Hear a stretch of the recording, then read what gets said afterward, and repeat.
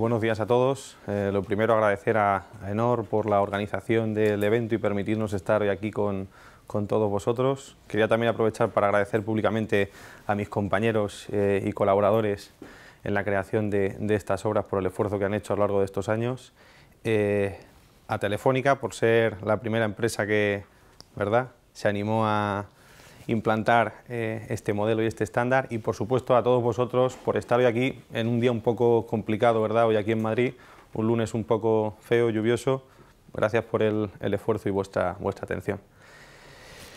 Bueno, eh, ya me ha presentado Boris, mi nombre es Moisés Rodríguez y mm, dentro de mm, la ponencia de hoy yo os voy a presentar, os quiero hablar sobre eh, la segunda versión del modelo de Maurez eh, para ingeniería del software, eh, la versión 2.0 de, de MMIS, ¿de acuerdo? Es una nueva versión que hemos elaborado durante los últimos años eh, con la idea de adaptarlo y tomar como base el nuevo modelo de evaluación de procesos que es el estándar, la norma ISO 33000, y que utilizará también eh, como base o modelo de referencia de procesos la nueva versión de ISO 12207. ¿De acuerdo? Bueno, y antes de empezar, eh, pues quería pediros un favor. Vaya, no he empezado, ya nos está pidiendo cosas, ¿no? Quiero pediros eh, que activéis un poco la mente y penséis, penséis en vuestro día a día cuál es el producto que más utilizáis. ¿Cuál es el producto que más utilizáis? Por ejemplo.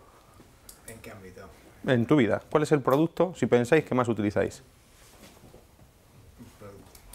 Bueno, un, un equipo, un equipo, un ordenador. Un ordenador. ¿Qué más? Un móvil, ¿verdad? ¿Sí? El móvil, el ordenador, ¿verdad? Si no fuéramos a lo mejor a otro sector que no fuera el nuestro, pues yo qué sé, el de la conducción, pues a lo mejor un coche, ¿sí? Fijaos, ¿y qué tienen en común?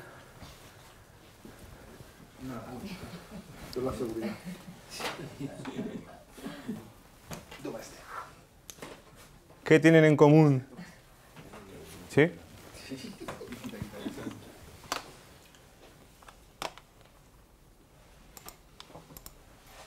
¿Qué tienen en común esos productos? Ese móvil, esos ordenadores que decíais, ¿verdad? Esos coches, cada día más conectados, ¿verdad? Pero hasta los electrodomésticos que te dicen si te falta leche, ¿verdad? Fijaos, la banca, la medicina, nuestro ocio, el deporte, ¿qué tienen en común esos productos? El software. Luego, si os vuelvo a reformular la pregunta de cuál es el producto que más utilizáis a lo largo de vuestro día a día, ¿cuál sería? El software, ¿sí? Desde que nos levantamos, cuando cogemos el móvil o el despertador, ¿sí? Cuando vamos en el coche o en el metro al trabajo, cuando trabajamos con nuestros ordenadores, cuando incluso hacemos deporte, ocio, ¿sí? hay software presente.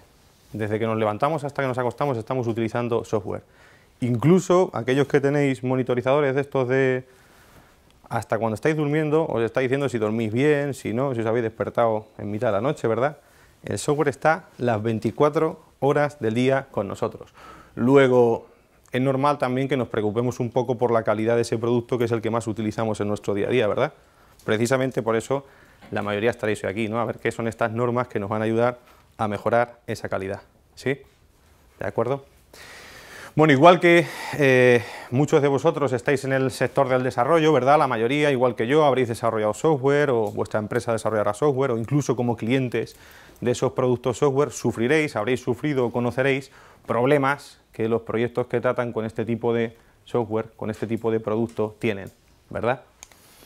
Yo por poneros algunos ejemplos de los que me he encontrado a lo largo de estos años en las diferentes empresas con las que he colaborado, os quería representar los siguientes. Fijaos, uno típico, uno muy conocido, problemas con los requisitos. ¿Sí? ¿Cuál es el principal problema aquí? El cliente y el proveedor de desarrollo no suelen hablar el mismo lenguaje.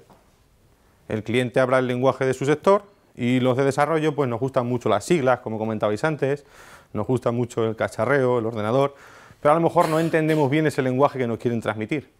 ¿Y qué ocurre cuando lo que nos dicen esos requisitos no se plasman correctamente y no se entienden de una manera correcta? Pues que incluso el producto resultante, ese software, puede ser que no sirva para nada.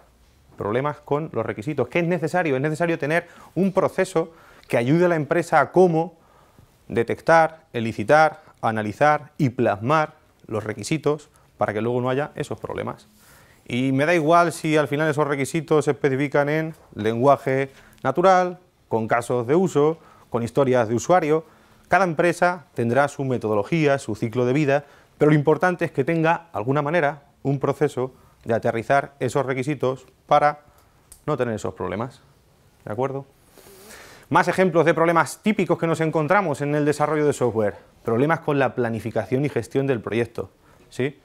¿Cómo estimamos? ¿Cómo estimáis en vuestros proyectos de desarrollo? Pues cada uno a su manera, ¿no? Me dicen, dependiendo del proyecto, en base a la experiencia, ¿sí? ¿Qué es lo que ocurre? Que si cada vez estimamos de una manera, ¿sí, verdad, raíz? Pues la fiabilidad de lo que estimamos y la precisión sobre todo, pues deja un poco que desear. Luego aquí lo importante es que la empresa también cuente con un proceso de estimación y de nuevo me da igual si ese proceso es por punto función, por puntos casos de uso con COCOMO, me da igual. Lo importante es que la empresa tenga un repositorio de conocimiento, de experiencia, de cómo ha ido estimando a lo largo del tiempo, qué problemas son los que ha tenido y aprender en base a esas situaciones. ¿sí? Bueno, más eh, típicos problemas, problemas de gestión de configuración. ¿Quién no ha tenido problemas con, no, es que eh, la versión que yo probé sí funcionaba, pero ahora en el entorno de pruebas no? No es que hay otras versiones también de las librerías, ¿no? Problemas con el versionado, ¿de acuerdo?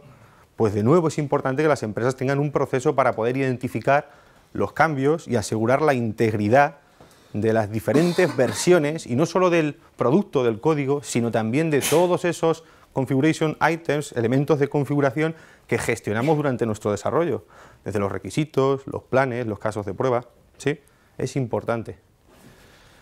Problemas de medición. Yo pregunto cuando trabajo en las empresas, ¿qué tal lleváis vuestros procesos? Y nos dicen, pues bien, y luego seguido de un creo. Creo porque no puedo afirmarlo ya que no estoy midiendo cómo se comportan mis procesos. Y si yo no mido cómo estoy desarrollando mis procesos, no podré comprobar si voy bien, mal o no voy. ¿De acuerdo? Por eso es importante también tener procesos de medición. Un proceso de institucionalización. ¿Qué es la institucionalización? Bueno, para aquellos que a lo mejor os pille un poco en frío, es el, el grado en que una empresa tiene implantado un o varios procesos en la cultura de su organización. Eso que se hace prácticamente sin pensar, que la empresa sabe que tiene que hacer requisitos, planificación, gestión de la configuración, ¿sí? y lo realiza sin ni siquiera cuestionarlo. Eso es la institucionalización. Y cuando las empresas no tienen institucionalizados sus procesos, pues ¿qué es lo que ocurre? Que cada persona, cada equipo en la empresa los hace de una manera. O incluso la misma persona, dependiendo de la situación, lo hace de una forma u otra. ¿De acuerdo? Luego es importante que las empresas tengan institucionalizados sus procesos y sepan cómo trabajar con ellos. Bueno, y por poner algún que otro ejemplo, ¿quién no ha tenido problemas con temas de calidad, pruebas, sí, calidad del código, ¿de acuerdo? Son muchos otros problemas los que nos enfrentamos en este tipo de proyectos para desarrollar ese producto que decíamos al principio que utilizamos tanto en nuestro día a día. Bueno, pues precisamente para eh, trabajar con estos problemas y cuyas consecuencias no son más que las que veis en esta figura, las principales consecuencias suelen ser tres, ¿verdad? Y las conocemos prácticamente todos. Cuando nosotros no tenemos esos procesos adecuadamente institucionalizados en nuestra empresa, ¿a qué da lugar? Pues a que los proyectos de desarrollo se retrasen o incluso se cancelen, ¿sí? ¿A qué más da lugar? A que los costes de nuestros proyectos se disparen. Estimamos una cosa, pero si no estimamos bien, ¿a qué da lugar? A que el proyecto al final tenga un coste de un 30, un 50 o incluso un 100% más. ¿O cuáles son los otros tipos de problemas? Pues problemas de la calidad del producto resultante, no solo puede que se retrase, no solo puede ser que se nos vaya de coste, sino que además al final lo que entregamos no es de la calidad de lo que el cliente esperaba. Tanto funcional como a nivel de seguridad, como a nivel de usabilidad, me da igual. Eso dependerá de los tipos de requisitos. Bueno, pues para trabajar con este tipo de problemas es precisamente por lo que surge este nuevo estándar como es ISO 33000. ISO 33000 es un framework, es un marco de trabajo para la evaluación de los procesos. ¿De acuerdo? Mediante la evaluación de los procesos podremos saber cómo de institucionalizados tenemos esos procesos en nuestra organización, qué podemos mejorar de esos procesos y cómo podemos alinearlos a buenas prácticas, a otros estándares de ciclo de vida y de procesos de desarrollo. ¿Cómo surge ISO 33000? Bueno, pues en realidad, ya lo hemos comentado antes, ISO 33000 es eh, la evolución de lo que muchos de vosotros conocéis, porque como sé, eh, lo tenéis implantado en vuestra organización, de lo que se conocía como SPICE, ¿no? o ISO 15504. ISO 15504 SPICE, las siglas son de Software Process Improvement, pues nace para los procesos de desarrollo de software. Pero durante los últimos años, eh, SPICE ha ido evolucionando para evaluar no solo procesos de desarrollo de software, sino procesos en otros ámbitos, procesos de seguridad, procesos de testing. Y claro, al ir agregando diferentes módulos, pues aquello iba ya quedando un poco descoordinado. La idea analizar todas esas nuevas necesidades y sacar un nuevo modelo de evaluación. ¿Veis que no dice evaluación de procesos software? Dice evaluación de procesos, que cambiando por debajo el cartucho del modelo de referencia de procesos, puede evaluar procesos de diferentes ámbitos. ¿Veis la diferencia? ¿Veis cuál es el objetivo de ISO 33000? Poder evaluar procesos independientemente del ámbito del modelo de referencia. Hoy estamos aquí para centrarnos en la utilización de ISO 33000 con ISO 12207, que es el eh, estándar para los procesos de ciclo de vida de desarrollo de software, de acuerdo, como modelo de referencia. Bueno, y si la estructura que anteriormente nos presentaba Mario para ISO 29110 parecía un poco liosa, pues la de 33000 no lo es menos. Si veis en esta figura es eh, bueno, la descripción de cómo se estructura el estándar. Ya sabéis para todos aquellos que trabajáis con estándar que mm, entenderlos a priori es un poco eh, complicado y es lioso. Pero si algo tenemos que destacar y alguna idea se os tiene que dar hoy de este dibujillo, es que realmente ISO 33000 propone tres líneas. Son estas tres columnas que podéis observar por aquí. Una primera columna que habla de los procesos de evaluación y en ella, concretamente en la parte 33002, nos analiza cuáles serán los requisitos que tiene que cumplir un modelo de evaluación, un proceso de evaluación para ser compliance con ISO 33000. En la siguiente columna nos habla sobre los marcos de medición y en la 33003 nos dirá cuáles son los requisitos que debe cumplir un marco de medición para ser compliance con el estándar 33000. Y por último, en la tercera columna nos habla de los modelos de procesos y nos dirá cuáles son los requisitos que deben cumplir de nuevo los modelos de procesos para ser compliance con este estándar. ¿sí? Como veis, ISO 33000 de base lo que nos establece son requisitos que deben cumplir una serie de modelos como son el que habla de la evaluación, el que habla de la medición y el que habla de los procesos de referencia, pero no nos dice exactamente cuáles son. Nos dice el qué, pero no el cómo. Por ello, durante los últimos años, eh, estuvimos trabajando eh, un equipo formado por AENOR, la Universidad de Castilla-La Mancha, Universidad del Cauca, junto con Francisco eh, Pino, que hemos visto antes, y el laboratorio Acucelab, para, siguiendo el estándar ISO 33000 y los requisitos que en él se proponen, crear la nueva versión del modelo de madurez de ingeniería del software. Como veis en esta figura, este modelo de madurez, en su versión 2, lo que hace es definir un proceso de evaluación compliance con ISO 33002, un marco de medición compliance con 33003, y utiliza como modelo de referencia de procesos la nueva versión del año pasado, ISO 12207 del 2017, que precisamente, por ser un estándar ISO, es compliance con lo que dice ISO 33000 para los modelos de referencia de procesos. ¿Sí? Como veis, este modelo de madurez toma las mejores prácticas y requisitos de ISO 33000 y de 12207 para poder ayudar a las empresas en la definición, evaluación y mejora de sus procesos de desarrollo de software.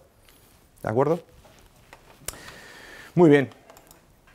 ¿Cuáles han sido las motivaciones o los objetivos a la hora de crear esta nueva versión 2.0 del modelo de eh, madurez de la ingeniería del software? Bueno, pues lo primero, como veis, evolucionar de la versión anterior, de la 1.0, que estaba basada en un estándar obsoleto, como era la 15504. Ahora, vosotros ya sabéis, cuando leáis o vienen ofertas, o pidan, o vosotros pidáis, pues que 15.504 ya es el pasado. El nuevo estándar es ISO 33000, ¿de acuerdo? Entonces nosotros nos vimos en la necesidad también de evolucionar nuestro modelo. Además, el objetivo de lograr una mayor eh, operatividad, aunque como antes eh, Mario nos ha comentado, ISO 29110 está centrado, acordaos, en micropymes, en muy pequeñas empresas, eh, el mayor porcentaje del tejido empresarial dedicado a la ingeniería del software, como muchos de vosotros sabéis, no son empresas grandes, son empresas pequeñas o medianas.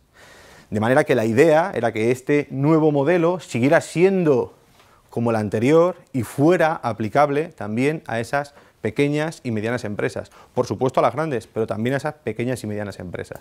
¿De acuerdo? Empresas donde no solo se utilizan ciclos de vida antiguos, en cascada, sino que utilizan ciclos de vida iterativos incrementales, donde están eh, cada día más en uso las metodologías ágiles. Este nuevo modelo es aplicable como veremos eh, por las estadísticas de empresas que lo utilizan, es aplicable también a ese tipo de empresas. Además, el objetivo era que estuviera alineado a la ISO 29110 que antes nos explicaba Mario, de manera que las empresas pueden empezar, esas pequeñas empresas, utilizando 29110 y no tienen ninguna orientación a procesos, y una vez que ya tienen esa base de procesos, pueden ampliar y seguir trabajando en la mejora de sus procesos con ISO 33000. Más objetivos, por supuesto, alinearlo en ese primer eh, foco que nos presentaba Boris sobre el modelo de AENOR para las TIC con normas ISO, alinearlo a ese esquema de estándares ISO que nos permite no solo controlar el desarrollo de software, sino también la pata que estaba a la izquierda, la parte de explotación y producción. Y de manera que hablemos un mismo lenguaje, un lenguaje de estándares abiertos, estándares ISO, que nos dan soporte a el desarrollo y la puesta en explotación de ese producto software.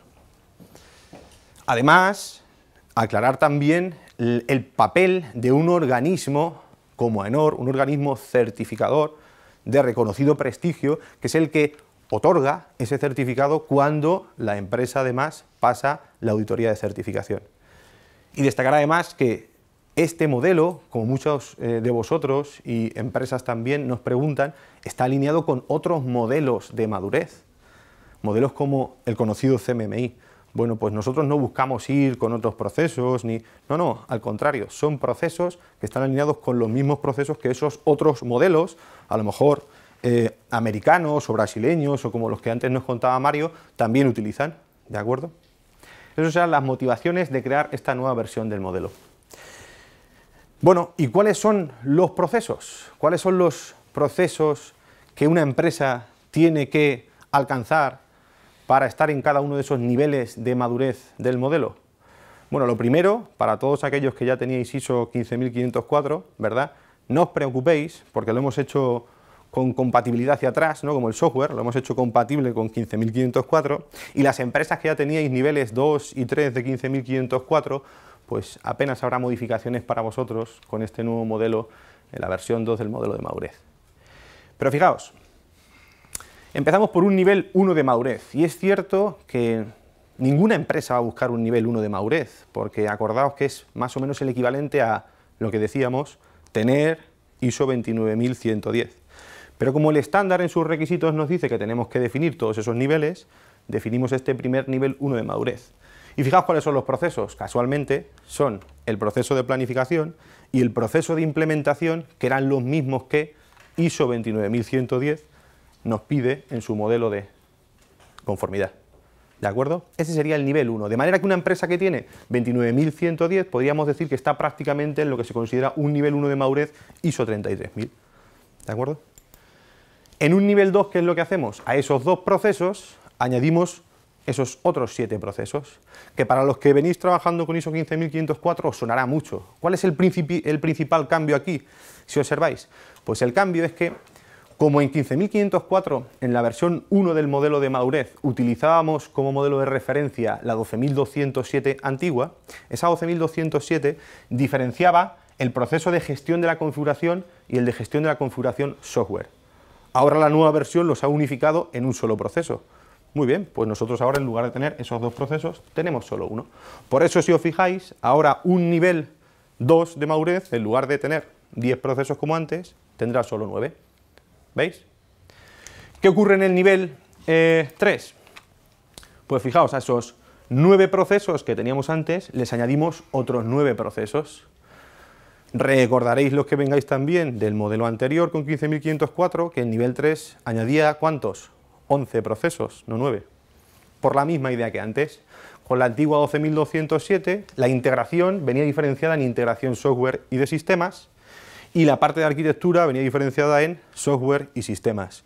Como la nueva 12.000 los ha agrupado en un solo proceso, ¿sí? ha reducido su complejidad también, lo que a nuestro punto de vista es bastante interesante y es más fácil de entender para las empresas, pues el número total de procesos se ha visto reducido. ¿De acuerdo? Si recordáis, en el primer modelo que sacamos, hace ya pues algo así como 10, 12 años, ¿verdad? Nos quedamos en nivel 3. ¿Por qué en su día nos quedamos en nivel 3? Porque digamos que la industria a la que nos dirigíamos todavía no estaba suficientemente madura para llegar a los siguientes niveles. Sin embargo, después de estos 10, 12 años, muchas de vosotros, muchos de vosotros, de vuestras empresas, lleva tiempo en un nivel 3. Ha institucionalizado sus procesos y tiene los, los procesos en nivel 3 maduros y nos estáis demandando el incrementar los niveles, el subir a esos niveles 4 y 5 de madurez. Luego, en este nuevo modelo, en el modelo versión 2, hemos añadido el nivel 4 de Maurez y el nivel 5. Fijaos, el nivel 4 de Maurez solo añade un proceso. Es el proceso relacionado con la cartera de proyectos o portfolio, como conoceréis muchos de vosotros en la gestión de proyectos, y que busca hacer esa gestión de cartera de proyectos, de portfolio a nivel organizacional. Lo principal del nivel 4 no es solo ese único proceso que se le añade, sino que para aquellos que conocéis eh, bien el mundo de la calidad y la madurez de los procesos, es añadirle también la gestión cuantitativa de procesos. Hay que añadirle a los procesos que ya traíamos de antes esa gestión cuantitativa. Habrá que hacer un análisis estadístico de cómo se comportan nuestros procesos y ver, lo que decíamos antes, midiendo cómo podemos mejorarlos. Y precisamente esa mejora es la que llegará en el nivel 5 de madurez. Ese nivel 5 de madurez, que ahora se llama el nivel de innovación o cuando una empresa está innovada es cuando en base a ese análisis estadístico de sus procesos va realizando una mejora continua y una innovación. Y aparte de esa innovación y mejora continua, se le añadirán dos procesos, uno, del gestión, uno para la gestión del conocimiento a nivel organizacional, gestionar cuáles son los conocimientos que a lo largo de los diferentes proyectos se van adquiriendo y cómo se pueden implantar en el resto de proyectos de la organización, y otro relacionado con el análisis de la misión y negocio de la empresa. Si estamos haciendo un análisis estadístico de nuestros procesos y queremos innovar, tendremos que ver también cómo se está comportando el negocio al que nos dirigimos y cómo podemos mejorar en él. ¿De acuerdo? Esos son los cinco niveles de madurez que propone el modelo en su versión 2 que hemos, eh, que hemos creado y que estamos presentando hoy aquí. ¿Y la auditoría? ¿Cambia algo la auditoría de lo que se venía haciendo hasta ahora? Pues no, deben estar tranquilos, tenéis que estar tranquilos porque lo que es la auditoría, el proceso de auditoría con AENOR sigue siendo el mismo, sigue siendo eh, siguiendo los requisitos que propone, como conocéis, el estándar ISO 17021, ¿no? De manera que habrá una primera fase donde se hace un análisis de la documentación y los procesos de la empresa y una fase 2 donde se realiza la auditoría in situ, esas entrevistas en busca de las evidencias de implantación de esos procesos. En base a esas entrevistas y esas evidencias, como sabéis, se realiza un informe de evaluación y si el nivel alcanzado es el adecuado, se concede ese certificado.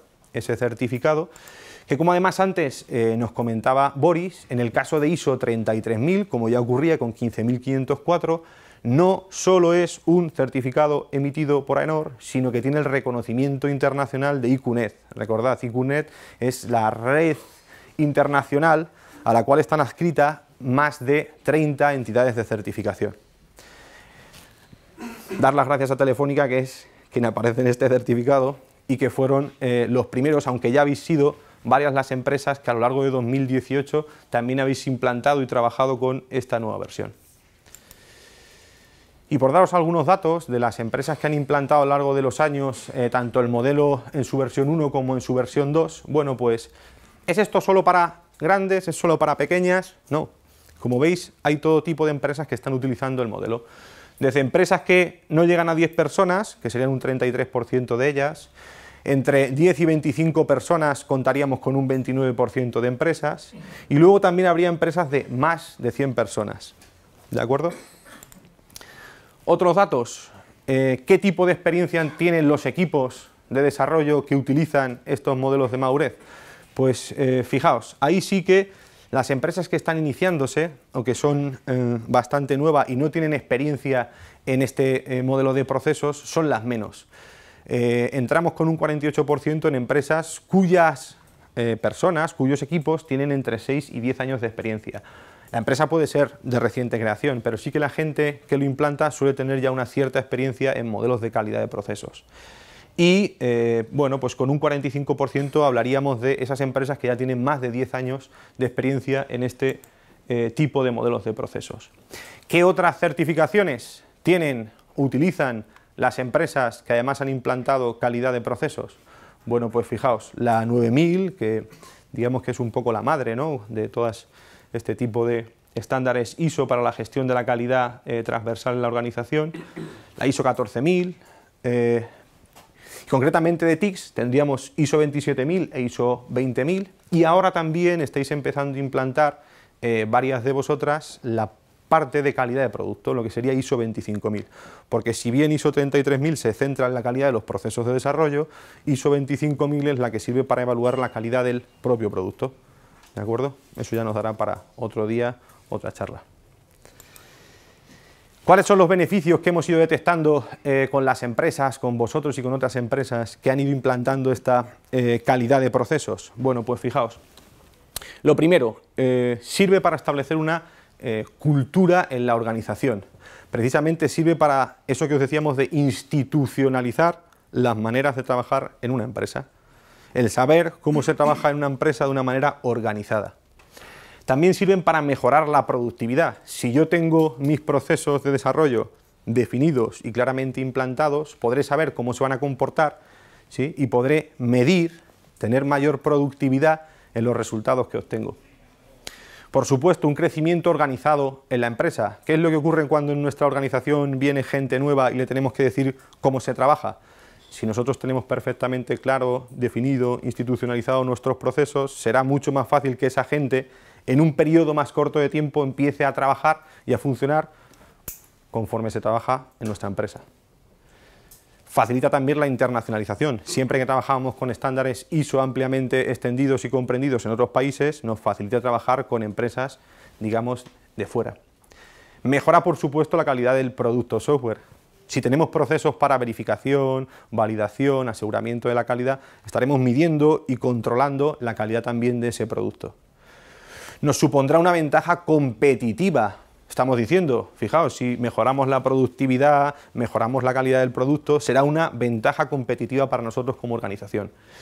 Y, ¿por qué no? También nos otorgará un reconocimiento, en caso de certificarnos, a nivel internacional. ¿De acuerdo? Esos son los principales beneficios que venimos detectando.